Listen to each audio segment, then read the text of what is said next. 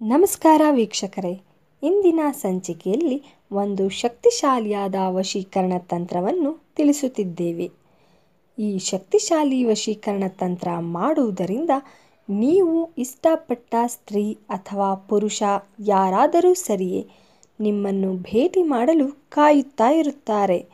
ನೀವು ಯಾರನ್ನಾದರೂ ನಿಜವಾಗಿಯೂ ಒಳ್ಳೆಯ ಮನಸ್ಸಿನಿಂದ ಇಷ್ಟಪಡುತ್ತಿದ್ದು, ಅವರು ನಿಮ್ಮನ್ನು ನಿರಾಕರಿಸುತ್ತಿದ್ದರೆ ಈ ತಂತ್ರ ಮಾಡುವುದರಿಂದ ಅವರಿಗೆ ನಿಮ್ಮ ಮೇಲೆ ಪ್ರೀತಿಯುಂಟಾಗಿ ನಿಮ್ಮನ್ನು ಸೇರಲು, ಚಿಂತಿಸಲು ಶುರು ಮಾಡುತ್ತಾರೆ. ಇದನ್ನು ಮಾಡುವುದರಿಂದ ನೀವು ಪ್ರೀತಿಸಿದವರನ್ನು